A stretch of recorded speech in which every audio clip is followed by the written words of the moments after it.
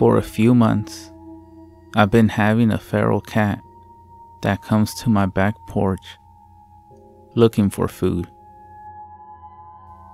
I first saw him in October around 6 p.m. when the sun was going down and I had walked to the back door to take a smoke outside. I could see him through the double window that looks out onto the swamp beyond. He was sitting patiently as if he had been waiting for me. His black, greasy fur reflecting the colors of the sun. When he saw me approaching, he stepped closer to the window and stood on his two back legs and started to paw wildly at the window. I chuckled and walked back to my fridge, pulling out some leftover chicken breast from the night before. I grabbed an old plastic dish from the cabinet and I tore the chicken apart into bite sized pieces. I returned to the back door. I opened it only enough for me to squeeze out so that he wouldn't bolt into the house. If he did, I knew I would regret it, letting him slip inside only to possibly infest my home with blood sucking fleas and to tear up my furniture. I placed the dish down and he pranced towards it, scarfing it down like it was his first meal in weeks. I looked at him closer through his long fur and could see how thin he was. His legs looked like skin and bone, and his cheeks looked sunk in, causing his eyes to protrude out grossly. It was then that I noticed his tar colored eyes that had no glint to them, no shine from the setting sun. It reminded me of those computer screens that don't reflect pesky sunlight glare coming from your window. I felt uneasy, worried now that he may attack me. However, he looked at me once and blinked slowly before racing down the porch stairs and disappearing into the wooded swamp. I started to wake up every morning only to see the dead corpse of some poor animal when I would take my routinely first smoke of the day. It started with little animals, birds, mice, and other small rodents. I always figured it was just the way that cat was thanking me for feeding him when he came, which was only a couple of times a week. Even though I only saw him a few times, there was always a dead animal on the porch step every morning. I thought it was silly that some old cat would bring me presents every morning.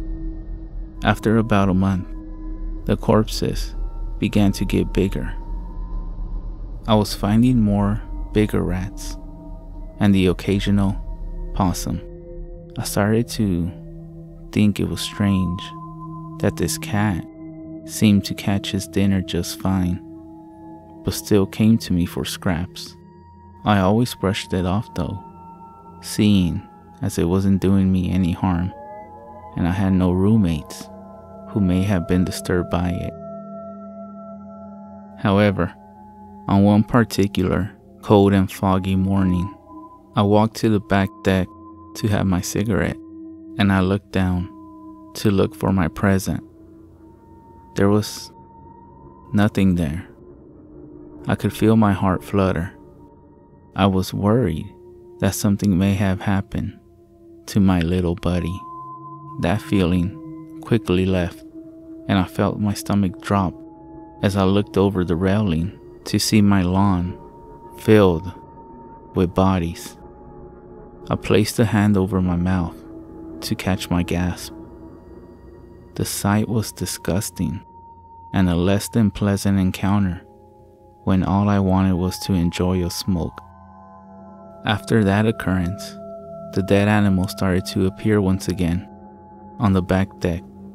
Part of me felt relieved that my cat was okay, while the other part of me felt like something was terribly off. Sometime in January, I woke up in the middle of the night, groggy as hell, but with a strong craving to have a smoke. I walked down the hall and paused at the window overlooking the backyard, and I saw a pale figure that reflected the moonlight. I paused and my eyes widened. Suddenly, I was no longer groggy, and the urge to smoke disappeared. The figure looked up at me, and I froze. My breathing stopped. I could see its sunken in eyes staring at me, and its spine protruding from its pale skin that had patches of fur peppered. It looked very strange, almost human like, hunched over while standing on two legs. I panicked and I could feel my body growing hot as my heartbeat quickened. After staring at me a little longer, it turned around to crawl over the fence, and then it walked away on its two legs. I went back to bed, completely terrified. I woke up the next morning and rubbed my eyes, releasing a big yawn. I thought to myself, what a crazy dream I had. I got up from bed and walked downstairs to make myself a pot of French press coffee. I grabbed my pack of smokes and my mug and walked out the back door. I walked to the rail with my mug and crossed my arms and leaned over. I instantly dropped my mug and could hear it shatter on the concrete below. Time felt like it had slowed as I looked around to see corpses lacerated, and splayed across my yard. The black feral cat was strategically in the middle of all the dead bodies. No mercy was spared to any of those animals. I felt my stomach heave, and I threw up what was left of my dinner from last night. I felt a chill run down my spine as I remembered what I had seen the night before, and I no longer believed it was a dream. I quickly walked back to the door and locked it shut behind me. It felt surreal, and I couldn't imagine that this was happening to me, but to my dismay, it was. I couldn't be bothered to clean all the bodies. I was too fearful to walk out that door. I stayed inside the house for the rest of the day on my computer, looking for solutions to my problem. Of course, I found nothing but nonsense about some beings called rakes, wendigos, and skinwalkers.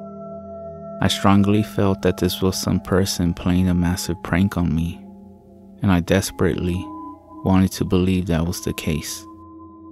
I fell asleep at the table in front of the back door.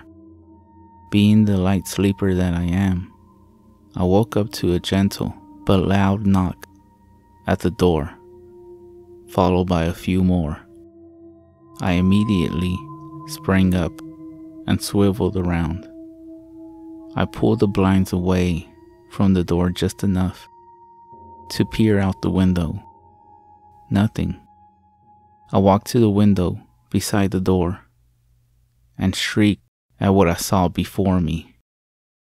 The creature I had just seen the night before had pressed its hands and face against the window and was breathing heavily with a wicked smile plastered against its face. I ran to the counter and snatched my keys running out the front door to dash to my car. As I got in, I began backing out. That's when I saw the creature come around the side of the house, only to stop when it saw me backing away. It then stood up on its two legs and gave me a slow wave, showing off its nasty pointed teeth and its disgusting smile. I retreated to my sister's home, which was about 30 minutes away, and I busted through the front door with no explanation. She came running down the stairs, with her boyfriend following close behind her.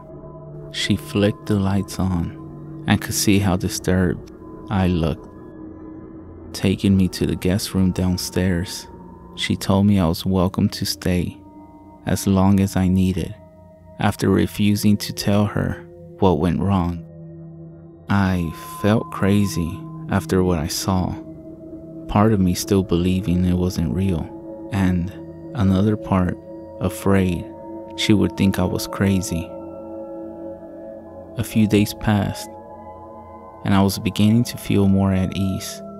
My sister was making breakfast by the time I woke up, and I nodded to her and her boyfriend as I sat down at the table when there was a ring at the doorbell. I went to go see who was there. As I saw my sister was busy and her boyfriend was enjoying a little small talk with her. I opened the door and was surprised to see no one was there. A putrid smell struck my nostrils. I looked down to see the half rotten body of my feral cat.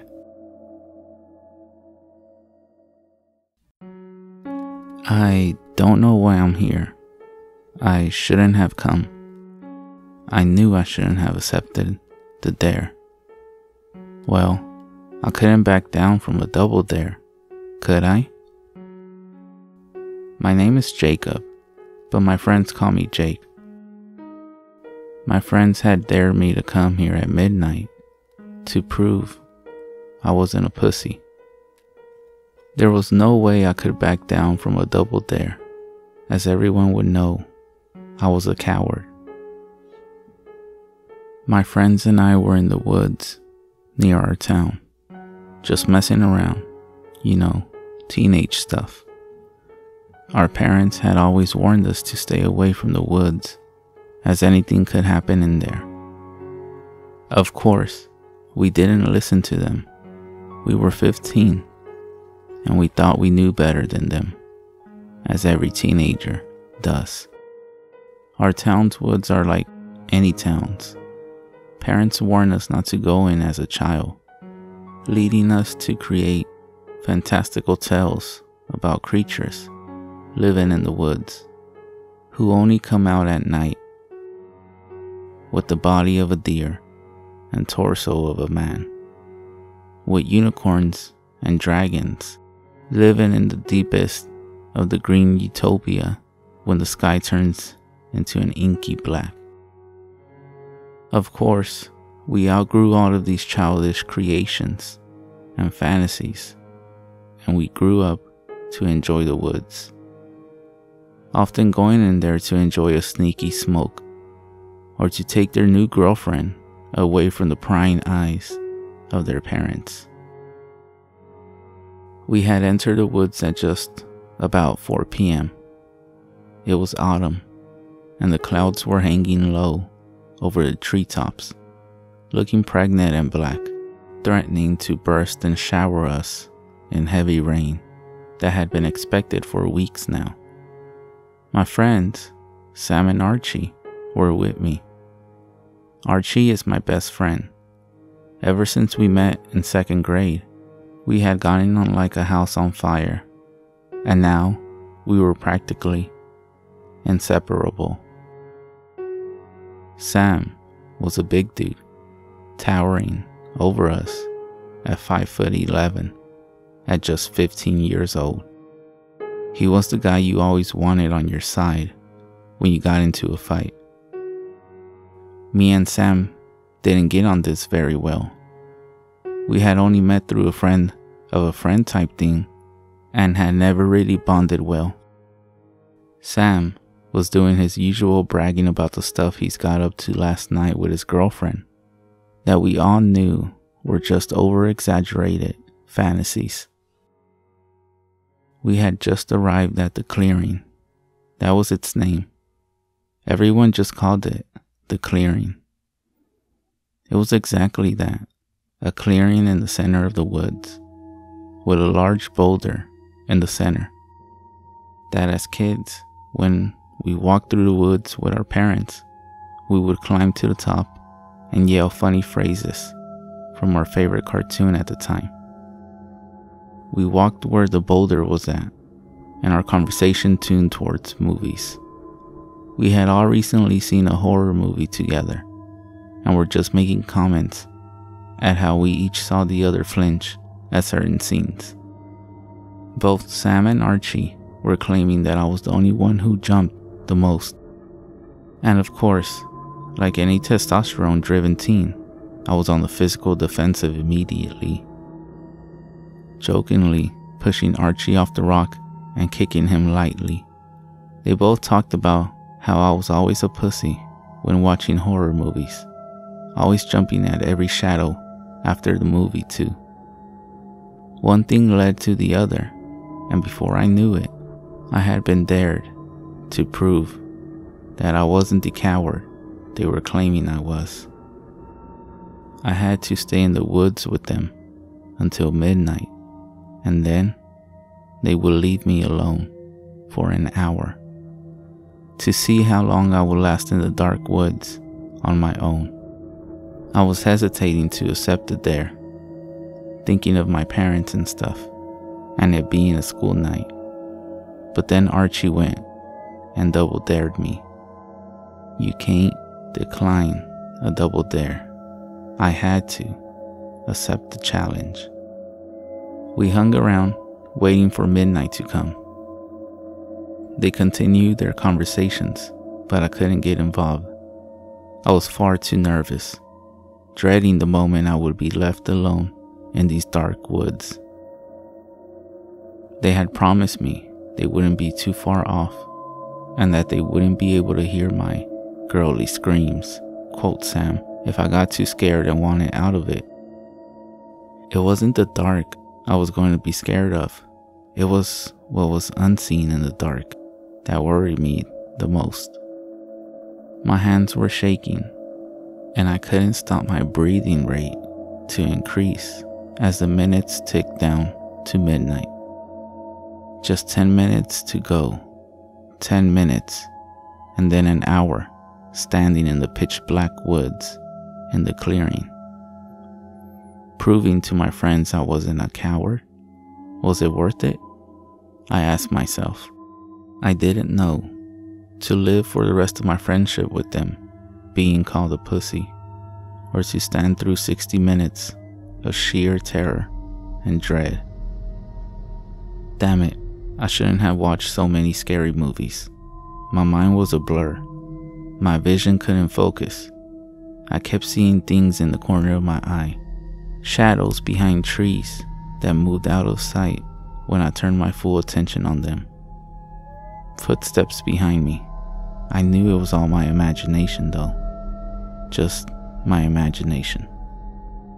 Hey, Archie's voice cut through the mist in my mind. A deer. I squinted through the darkness in the direction he was pointing. Where? I heard Sam ask. Shh, you'll scare it away, Archie hissed. He gestured with his hand to the left side of the boulder, middle distance. And sure enough, there was a deer. It was standing still, absolutely stock still. It wasn't grazing the grass, it was looking around for possible dangers or predators. It was just standing there, with its head pointed straight, looking east. It's beautiful, ain't it? Archie said, smiling at me. I nodded my mouth still dry with nervous anticipation. I pulled out my phone to check the time to see how long I had left before I was left alone in these woods. But Archie stopped me, grabbing my hand and shaking his head. No, he whispered. The light from the phone might scare it away. I put the phone away and squinted through the darkness again at the still, motionless deer. We stood there for a few minutes, watching it. It hadn't moved once. Yo, why isn't it moving? Sam asked. Then the deer moved. I saw it. Just as Sam had said those words in his deep whisper, the deer turned its head to look at us. I felt a shiver go down my spine. I don't know why, but the way it had turned its head to look at us didn't seem right. The movement wasn't fluid. It wasn't like the deer was afraid of the noise and had whipped its head around to check it out. The deer had turned its head too slowly, too slowly for an animal of prey hearing an unknown sound. It stared at us. We stared at it, and nobody moved. The woods were silent. It was as if the trees and animals were all holding their breath in anticipation of what was about to occur next. It then moved again, so slowly, so unnaturally, and slowly. It started to walk. I don't know if walk is the right way to describe its movements, actually. It was more forced, as if its legs didn't belong to it and it was trying to figure out how to use its limbs along the way. Jerky and slow movements, moving away into the darkness until the blackness surrounded it and we could no longer see it. None of us said anything for a long time. Sam turned to us. He ruined it. Of course he would. Enough of that weird ass deer. We're here for a reason, right? I could do nothing but stare at him, my heart beating so fast in my chest, and my head swimming with thoughts. Archie didn't respond. Well, Sam demanded. Archie looked at me. I couldn't move. Fear had paralyzed me. I was scared of what I had just witnessed and the strangeness of it and the fear of the dare. Archie then shrugged at me. A dare's a dare, bro, was all he said to me. Taking out his phone, he checked the time. 12.03. A little over midnight. Well, Archie began, but Sam cut in. Come on, let's get to it. It's bloody freezing out here. He pulled down his beanie further on his head and zipped up his coat higher. Do the dare and let's get home where it's warm, alright? I nodded. I couldn't believe myself. I actually nodded. Despite all my internal senses going haywire, all of my gut telling me that this was the complete and wrong thing to be doing, I had nodded, sealing the dare and confirming my participation. The dare was on. They promised me they wouldn't be too far away, that they would be near the creek at the west entrance of the woods, about 100 meters away from the clearing I was in. Then they left me, left me all alone, alone in the dark, alone in the unknown, alone with who knows what. I silently cursed myself. I tried to control my breathing. My heart was hammering in my chest.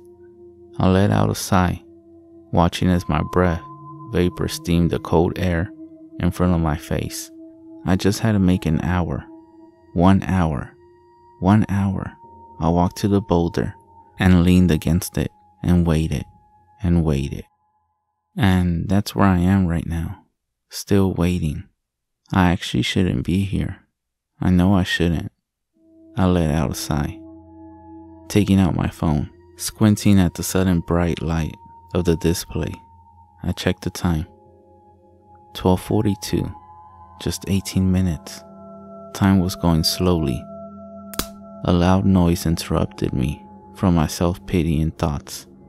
The sound of a twig snapping. Someone was moving near me.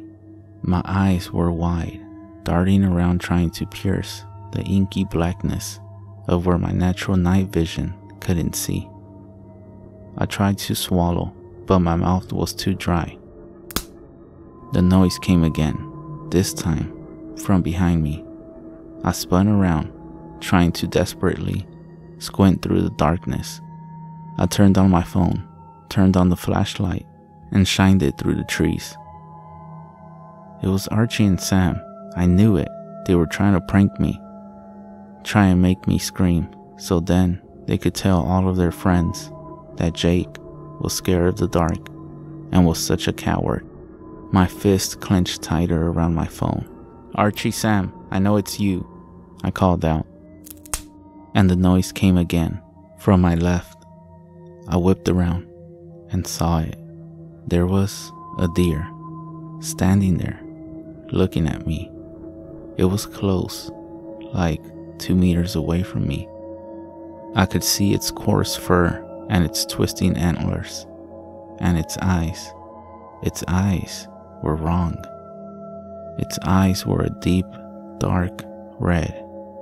I stepped backwards. Those eyes, they had me transfixed.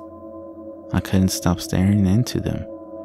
Then, the deer started to move, jerky movements, towards me. I was frozen in shock.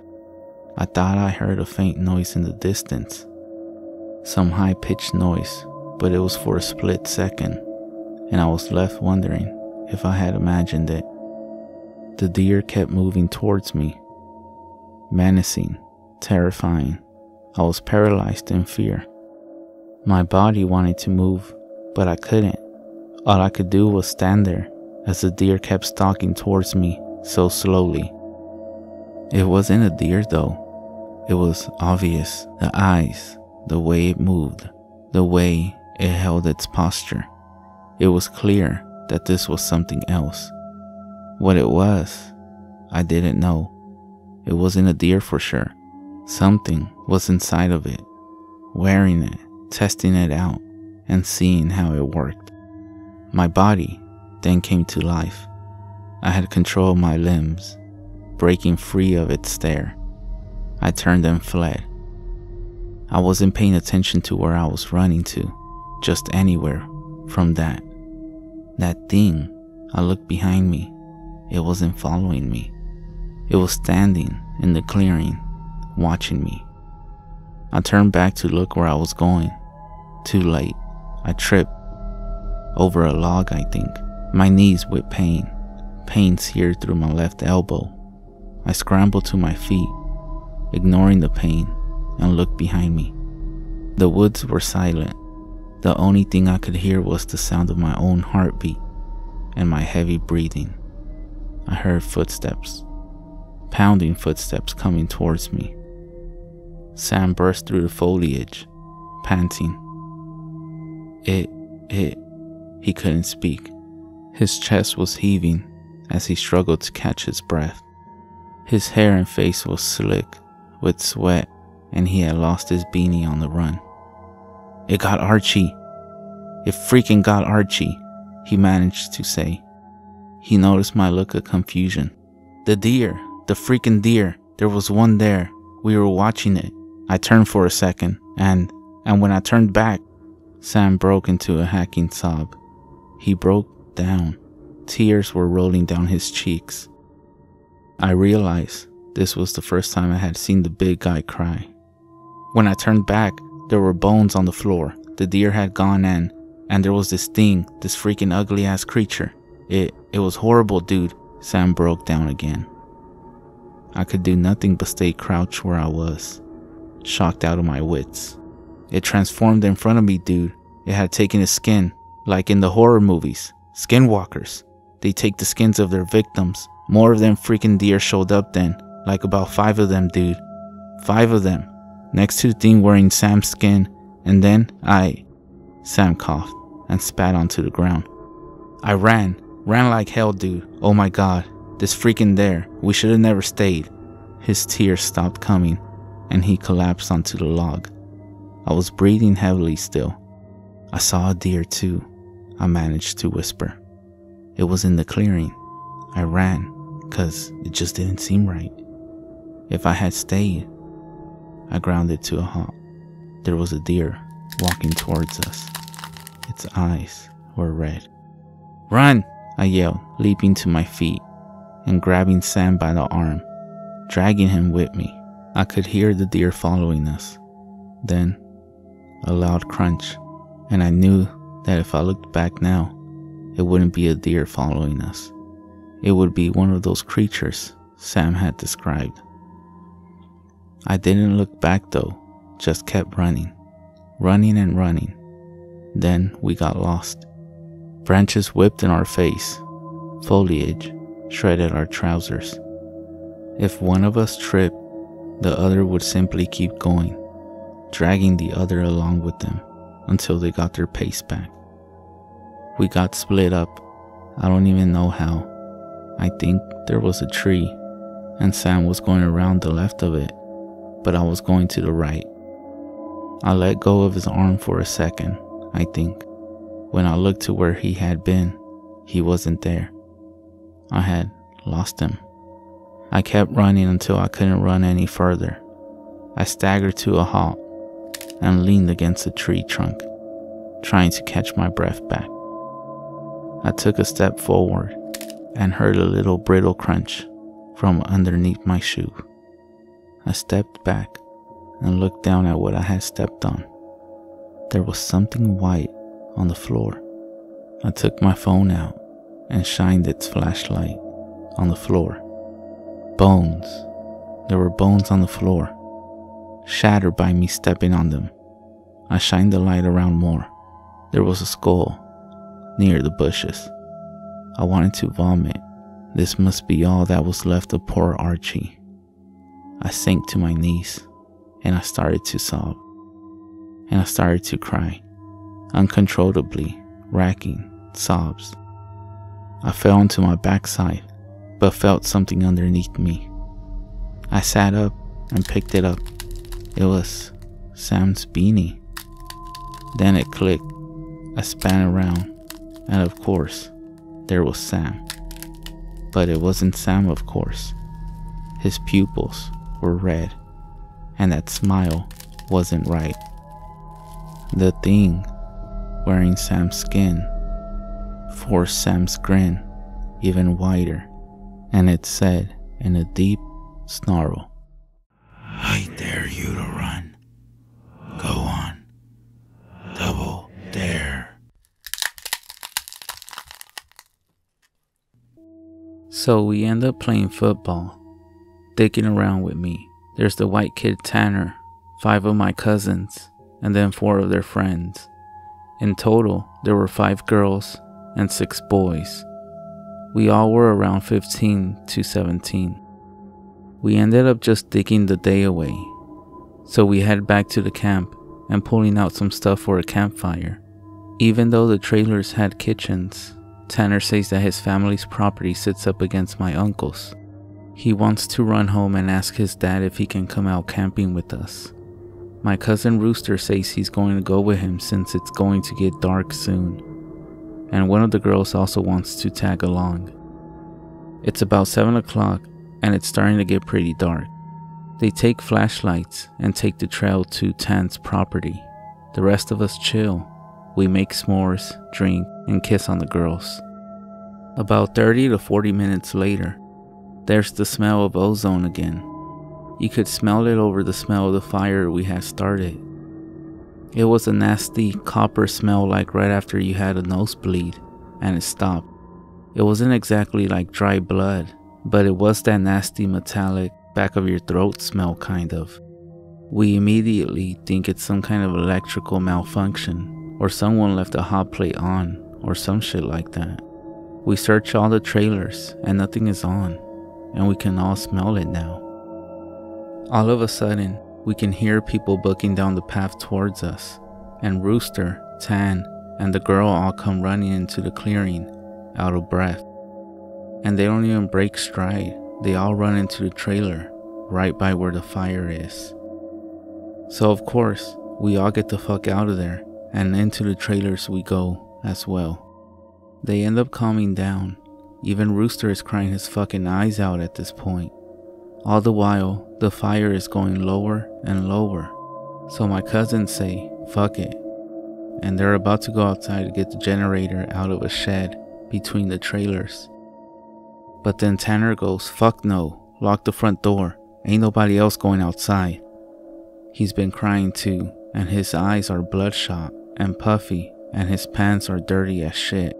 He goes on to tell us that they went up to his house. His father said sure, he could go out camping, but to make sure they were careful on the way back, and that maybe they should take one of the hunting rifles just in case. Evidently, Tanner had seen something in their yard a few days before. One of their pigs had come up, ripped up, and was half eaten. They assumed it was just some big cat or coyote, even though they usually don't fuck with live animals.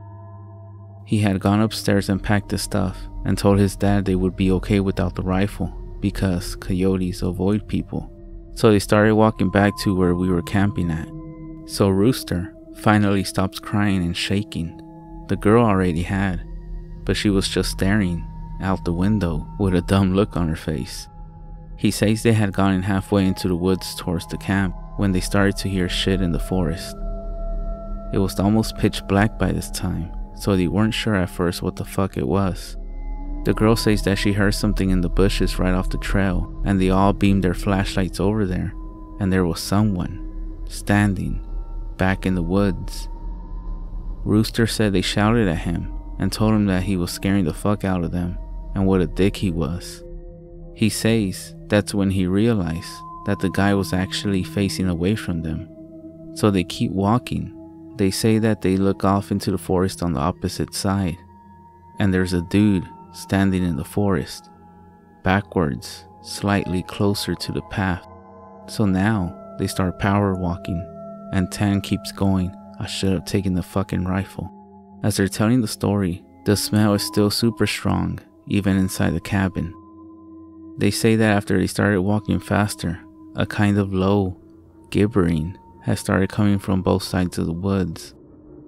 And as they started booking it back to the trailer, the girl said she had flashed her flashlight out into the woods to the side of them and had seen something jerking itself through the woods. The gibbering just got louder and louder, and when they could see the light from our campfire, something had come out of the woods, about 40 yards behind them, onto the track. And that's when they just flat out ran as hard as they could to the trailer. So we're out in the fucking woods, and we're assuming at this point it's some rednecks or some shit trying to fuck with us. All of a sudden, my other cousin, Junior, starts going on about how he went to school with a native kid that was telling him about the goat man or some shit like that. We promptly tell him to shut the fuck up because we don't need any spooky talk right now. But he just keeps going on and on about how it's the fucking goat man and how we're in his woods and blah blah blah. At that time, I had never heard of this goat man or any of that. But then a couple years ago, the year before I graduated from college, I had a native roommate and I ended up asking him about it. And to sum it up, it's basically a fucking man with the head of a goat and he gets among groups of people to scare them. It's also supposed to be kind of like the Wendigo, and it's bad mojo to even talk about it. And it's even worse if you see it. Keep in mind, I don't know this back when I was 16. So my cousin starts saying, the goat man's going to get in and fucking get us. The girls are all terrified, and my cousins and I are all fucking trying to figure out if it's just some bullshit or some hillbillies. or some animal. So all of a sudden, the smell just goes away. Like to this day, I haven't even experienced anything like it. Most of the time, smells fade away or just lessen. But in this case, it literally was there one second and then not the second after. So it's after an hour, making it around 9 or 10. We stop shitting bricks enough to go back outside and stoke the fire again. We figured it was just some assholes trying to fuck with us. So we don't go back home because we think if we do, they'll chase us through the woods or some crazy shit like that. Nothing else weird happens that night, and we stay another night, and for the main part of the night, nothing happens. At about 1 in the morning, we're outside getting drunk and telling ghost stories. As someone is finishing their scary story, which I don't remember what it's about, the smell comes back. This time, it's so fucking strong that one of the girls literally starts vomiting. I stand up and you can actually feel how clammy the air is. I then say that we should get inside, and this doesn't feel right. In reality, we should have just fucking left. We all go back inside and we're standing around. My cousin just keeps going on about how it's the goat man, and my cousin Rooster keeps trying to shut him the fuck up, and all the while I'm just feeling that something is wrong, and I can't figure out what the fuck it is. We end up sitting in there for a while. The smell is just as strong, and we're terrified and all huddle in this camper. We end up cooking brats for everybody because nobody wants to go outside. It's one of those packs with four brats. We have a total of three packs. I grill them up on the stove and give everybody a hot dog. I get mine, and after a while, one of my cousins gets up and goes over to the pot to get another one. He starts grumbling about how I get two brats and everybody else only got one. And I look at him like he's fucking stupid. I tell him that everybody only got one because there were only 12 brats. If he wants more, he should open up a new pack and cook some more. That's when the girl that had been out with Rooster and Tan just starts screaming, Oh Jesus, oh Lord, get it out. She's crying and shivering, and then it dawns on the cousin standing up what the fuck is wrong. Me and him both glance around the room, and then I feel my heart fucking sink. I run the fuck out of the cabin, and the girl runs out with us. The trailer door is banging against the side of the trailer as everybody books out of the cabin. One of my cousin's friends then asks what the fuck was wrong. I start counting all of us, and there's only 11 of us now. I shit you not my cousin verified. There had been 12 people in the cabin, but being that everybody didn't really know each other well, nobody had really noticed the whole fucking time that there was an extra person. And then I realized earlier that I had kind of noticed something was off. You know how when you're just dicking around having a good time, that you don't sweat the smallest shit, and you don't always keep track of certain stuff? I'm dead sure that someone else had been in the trailer with us and that they had been there for at least a fucking day, eating with us. What makes it worse is I could figure out which one because I don't think anyone ever actually interacted with the other person slash the goat man. The girl kept praying to Jesus and we're all sitting outside. Eventually, we get big ass sticks and go back in the cabin, but there's nobody in there. We count again and there's 11 people. We go back into the trailer and lock the door. We explain what the fuck happened, and the girl says that she also realized, and that when he was about to say something, the person sitting next to her had grabbed her leg hard and leaned over towards her and said something she couldn't understand. So we are pretty much scared as fuck as we huddle together, and I fall asleep. When I wake up, the sun is just coming up, and half the people are asleep, and the other half are packing our shit up. We all want to walk back home, but like four people want to stay until the sun is all the way up, and some people think that we're just fucking around and still want to stay there. I just want to get the fuck out of the woods, to be honest. The girl's name was Kiera, the one that the goat man had touched. Anyways, I asked her if she really thinks it was something bad, and she says that she just wants to go home and she doesn't want to be out in the woods alone for another night. So we decide to split up the four that want to go can go, but I have to stay because I have the keys to the cabin, and it's my uncle's and I have to lock up. I'm super pissed off at this point because I feel like people aren't taking the shit seriously, and I definitely didn't want to be out in the woods for another night. I spend the rest of the day trying to convince the rest of the people, which is now four girls and four guys, to get the fuck out. Tanner leaves with them to go get a rifle and says he's going to be back. So now there are just seven of us left by 4 p.m. At around 5 p.m., he hasn't made it back yet, and we're getting extremely fucking nervous. And the only reason I stopped begging them to go back was because he went to go get a gun. It's about 5:30 p.m. or so when the one cousin that did stay says that the girl Kiera is outside. We all look outside and sure enough, she's standing by the fire pit with her back to the cabin. I'm thinking to myself, if she was so fucking scared, why the hell would she come back? And then I get this nasty feeling in my gut. Keep in mind, the whole time the coppery smell has been gone. Now I realize I can smell just a little bit of it. I say this to the rest of them and everybody. And these are the people that wanted to stay in the fucking woods after we had the goddamn goat man in our midst. Is laughing at me and asking if I set this up to scare them. I'm looking at them like I'm not fucking bullshitting you all right now. I then demand to know why the fuck would I play like that. So one of the girls goes outside to get Kiera. She gets halfway to her and stops cold. Kiera starts heaving. I don't know how the fuck to describe it. Sort of like if someone with their back turned was laughing without actually making any sound. It was this fact that made me realize there was not a fucking sound in the whole woods. It was dead, silent. This was like later in September, so it was still fairly hot at the time, but it was super chilly some days too.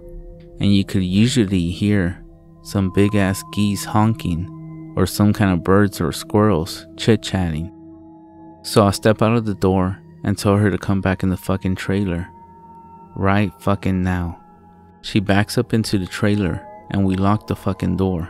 We pull down all the shades except one and put a guy there in a chair to watch her. She stands there for another 20 minutes or so.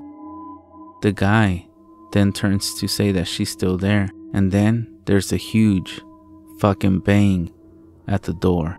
We all jump the fuck up and scramble around the living room. The banging is super fucking loud. So now, my cousin is holding one of the girls, and the other two are kind of giggling, nervously laughing, and me and the other two guys are shitting bricks. Then we hear Tan, he's screaming, Let me the fuck in, stop fucking playing. So we go over to the door and open it, and he stumbles in with a rifle. There's nobody else outside. Evidently, he had walked up to the campsite. Nothing weird happened in the forest but he had seen a girl, mind you. He said it was not Kiera standing there. When he had gotten to the edge of the clearing, she had turned towards him with a slack jaw look and just stared him down, slowly tracking him as he walked around the outside of the clearing towards the camp. He said it was until he was almost halfway to the trailer he had realized that she was getting closer to him. She had started off by the fire, and without him even seeing her move, she had been turning inches closer.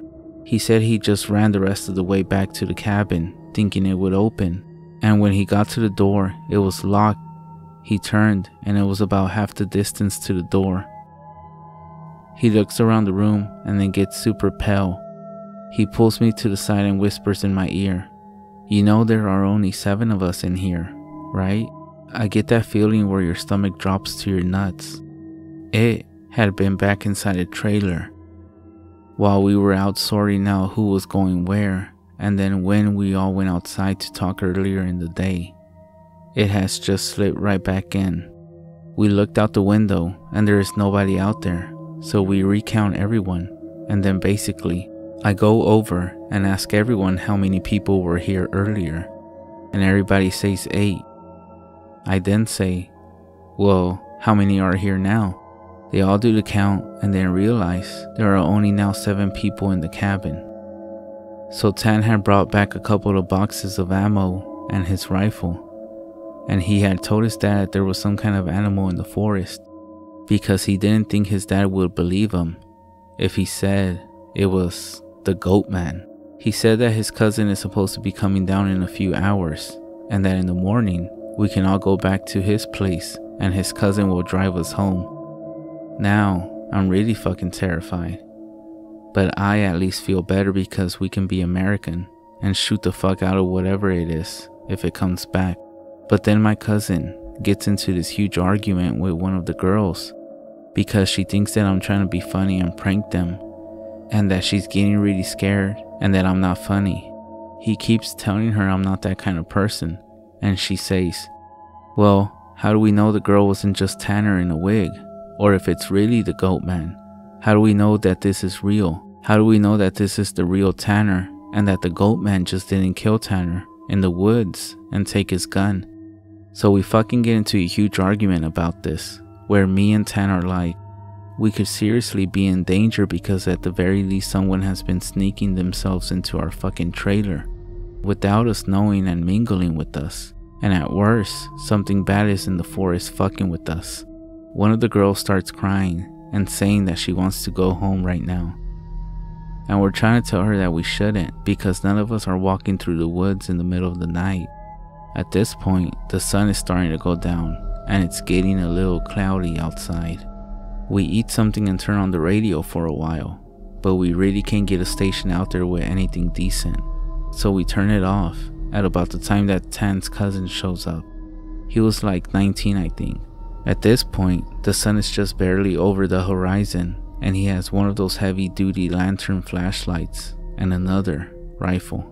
He walks up to the trailer, and we whisper to Tan, asking him if he's sure that's his cousin, and he says yes. The guy looks behind him and all around the camp, then walks in. He kind of glances at all of us and looks a little confused. He says, Where's your other little buddy at?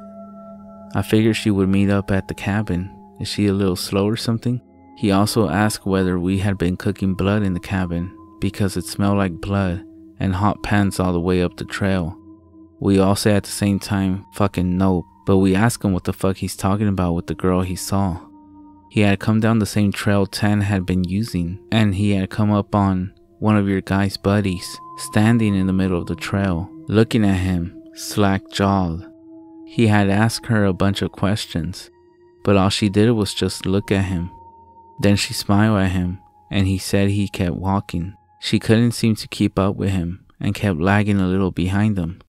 He said he asked her if she was hurt or something and if she needed any help, but she just continued to stare. Eventually, he had been walking and turned around a bend in the trail, but when he turned around and went back to see if she was okay, the trail was empty, so he assumed that she must have taken a shortcut through the woods to our trailer. We tell him the whole story of what's been going on. I half expected him to say we were full of shit, but he just listened and then sat down on the couches in the living room. Tanner's cousin gets back to the girl. He says, when she had kept trying to lag behind him, it had kinda weirded him the fuck out, so he tried to keep her in front of him but no matter how slow he walked, she was always lagging a little bit behind, and that he smelled this nasty smell, and it got stronger as he got to the camp. Eventually, it got really strong. She had said something really low that he didn't catch, and when he had turned around, she had been right the fuck up on him, and he stepped back from her. It was at this point he asked her if she was okay, and if she wasn't, he would carry her back the rest of the way. But instead, she stayed quiet and just kept staring. He said that's when he reached out for her, as in to grab her on the shoulder, but he must have misjudged the distance because she was off to the side where he had put his hand, like she had moved while he was looking dead at her. So at this point, we know the shit's real, unless Tan is playing a joke. Which we can tell he's not because he's almost pissing his pants. So they load up their rifles, we eat some more, and we just kind of sit around until about 11. To this fucking day, every time I think about this, I really pray to God that it's not some huge prank that my cousins played on me and just never revealed, so I would shit for the rest of my life. At around 11, the stink of copper turns into an actual nasty, gross, blood like smell, like cooking blood and hair. Tan and his cousin Reese get the fuck up instantly and grab the rifles. There's like a half knock, half claw at the door, and I shit you not, there's this voice, and it sounds like when you see those YouTube cats and YouTube dogs whose owners teach them how to quote talk. So after the half knocking and half clawing at the door, it says in this weird toned voice, Let me the fuck in. Stop fucking playing. It made my fucking nuts creep up against my body, and one of the girls just starts crying and calling on Jesus. It was so fucking obviously not a person talking. It didn't have the right cadence. And that's some shit that I never realized until that moment. But all the people have a certain cadence when they talk, no matter what language. All people have a certain kind of rhythm to talking. This shit didn't have any kind of cadence. One of those YouTube cats, that's what the fuck it sounded like outside the door. So now I'm in full on terror mode. We keep yelling outside, Who is it? Stop fucking around, man.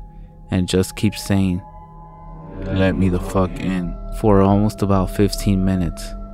Let me the fuck in. Let me the fuck in. Let me the fuck in. But if you can't imagine how this shit sounded, then you can't imagine how fucked up the whole situation was.